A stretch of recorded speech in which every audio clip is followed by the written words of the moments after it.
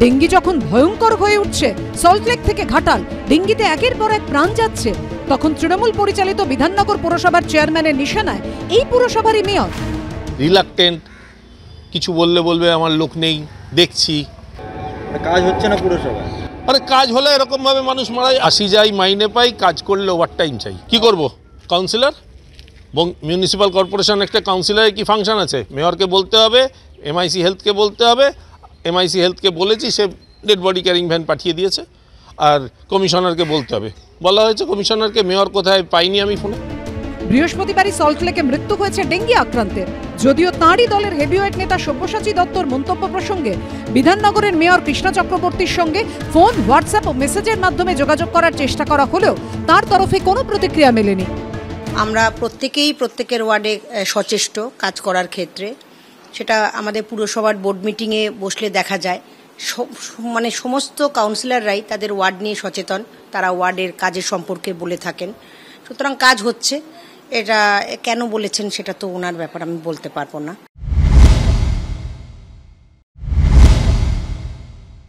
আগের সরকার যারা ছিলেন, তারা পার্সোনাল ইন্টারেস্টে আমার ক্লোজ লোক তাই মানে কলকাতার মানুষ আমাকে বসিয়েছে, মানুষের ইন্টারেস্ট আমাকে সেফগার্ড করতে। আমার কে পার্সোনাল কে আমার আমার ঘরে রোজ গল্প করতে আসে, কে আমার কবিতার পাঠ করায় বা কে আমার কবিতা ছাপিয়ে দেয়। এটার থেকে ইম্পর্ট্যান্ট হচ্ছে কলকাতা মানুষের কাছে আমি জবাবদিহি করি এই, তাদের এই পাপের ভোগ এগুলো সব আমরা নিচ্ছি। বর্ণ পরিচয় মার্কেট তার একটা একটা উদাহরণ। এরকম অনেকগুলো উদাহরণ আছে। দশ বছর ধরে ক্ষমতায় আছেন, তা এখন ওরা ডেঙ্গু সামাল দিতে পারছেন না সামান্য, সেটা আগের পুরসভার ফল।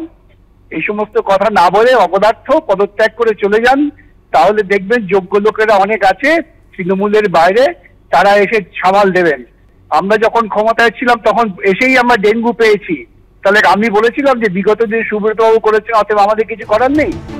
উনিশশো একুশে শান্তিনিকেতনের কাছে ম্যালেরিয়াগ্রস্ত জনপদে পথে শুশ্রূষায় নেমেছিলেন খোদ রবীন্দ্রনাথ ঠাকুর।